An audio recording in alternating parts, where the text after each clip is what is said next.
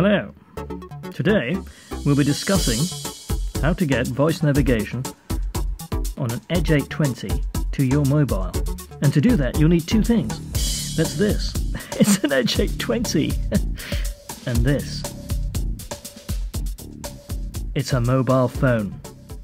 So let's get straight on with it. First of all, you'll have to switch on your little Edge 820. That's right. And it'll switch on. Okay, go straight into settings, down to Bluetooth, and make sure it's linked. Can you see? It says smartphone, which is this thing, BT Edge 820, which is this thing. That means they're both ready to go. Okay, Edge 820 lovers, you're going to have to download this. It's a program and it's called Garmin Connect. You'll get it on any app store you can find. Download it, install it, and then start this up. Okay, next, go here, Just scroll down, go on Garmin devices. Can you see there? Find the Edge 820 and then go down to device settings. Can you see that? I can. Audio prompts. Click on lap alerts, navigation alerts. That's the two I'm having. I haven't got a power meter. Pointless having it then. And uh, heart rate alerts Have you've got a belt and things like that. And this lap is what three, you want. 458, average speed 5.7. That just gives you the volume, a sample volume, which is actually control with the phone's um, volume control. So there we are. It should be all ready to go now because they're both linked together. And this program tells that, and that tells that what it want they both want to do. Okay, so go back again to the main screen, and you'll see if we swipe from the left. Please swipe to the left. No, I didn't ask for that. Please swipe to the left. Very well. Please, thank you. Oh, as you can see, it won't work at the moment because there's no there's no um, it's not connected, and the reason for that is this isn't on. It's got so bored it switched itself off. Now, when it comes back on again, you'll see the green light come up, and as you can see here, it says searching, checking. Come on, and it's now linked. The green light goes green here. This thing says I don't know what it means. Download complete. I think it's synchronized with it now, and um, this means it'll work. And this is what I found with this. Unless this is linked, this is on, this is on, it'll be fine. It's when the one or the other goes off, they lose connection now and again. Okay, so now it's ready.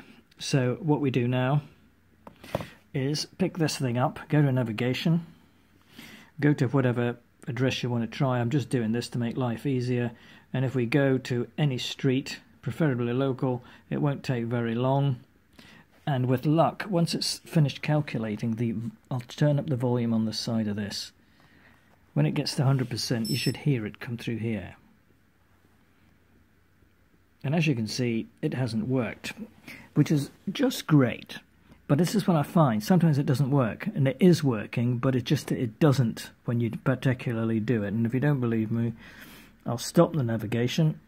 For God's sake, thanks.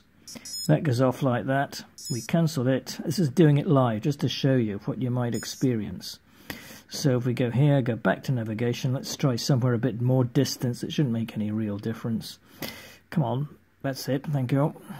And then we go here, slightly more further than the other one shouldn't make any difference, but I found that sometimes you think it's not working and it is working. You've just got to go outside and try it, then it starts to work.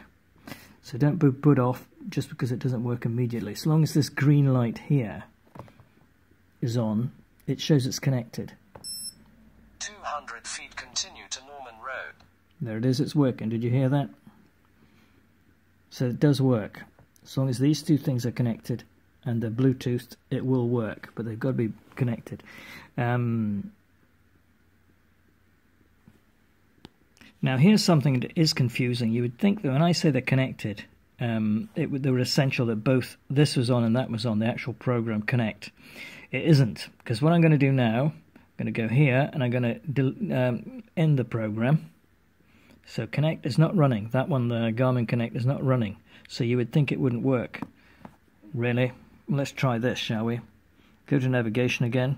Go to the, exactly the same one I went to. Um, the last one I programmed in.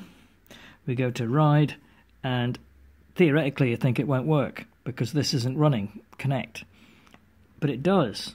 So it seems that you must run them initially and then it'll work.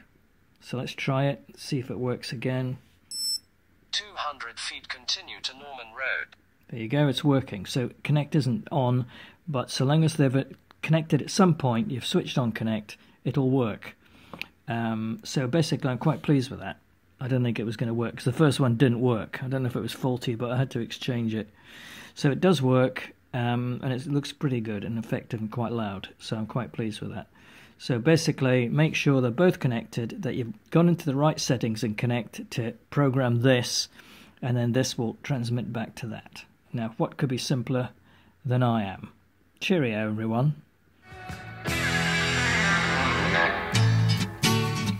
Fart Gallery Films.